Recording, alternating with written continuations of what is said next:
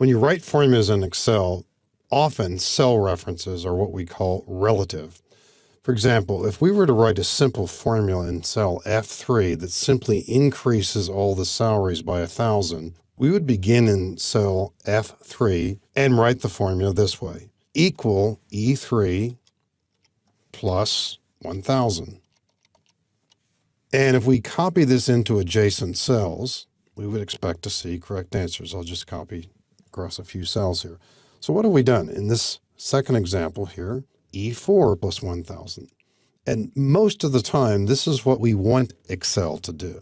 But what if we want everybody here to get the same percent of increase? It's going to be 2.9%. And we want to hold out the possibility that this number might change later. In fact, maybe we're exploring some options here. We want to look at the new total, see whether we can afford the new salary increases. So emptying these cells, I'll just highlight them and press delete. We want to write a formula here, and we want to use this 2.9%.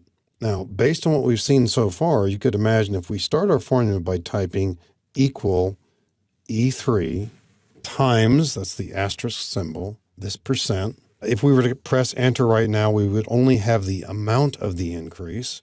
We need to add this onto the existing salary. So this is one of a number of different ways we could write the formula here. So pressing enter, we see a correct answer. What would happen if we copy this into the next few cells?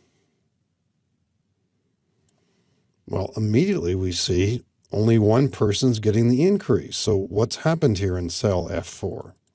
We're picking up the data from cell H3, which is empty.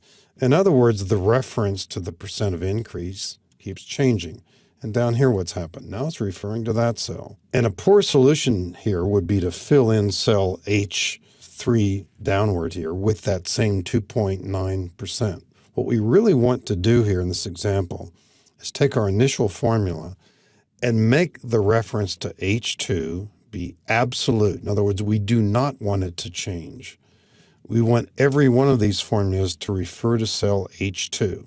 Now, to see this more clearly, I'm going to zoom in using the slider zoom over in the lower right-hand corner.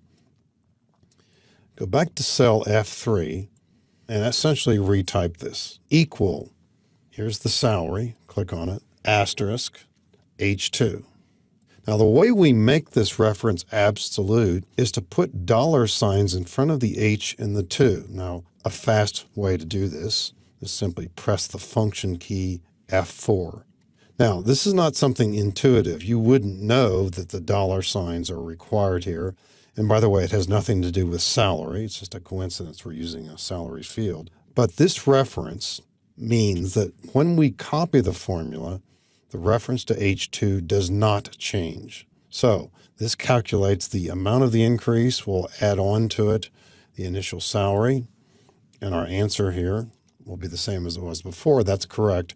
But as we drag this downward from the corner across all the other cells, all the ones in question here, we will see that those are all new salaries. And if we just pick any one of these at random, for example, this one, double click or look in the formula bar, we see it's referring to cell H2. And this is what we call an absolute address. And in this example, it's the only quick and efficient way to create these formulas. We create an absolute reference.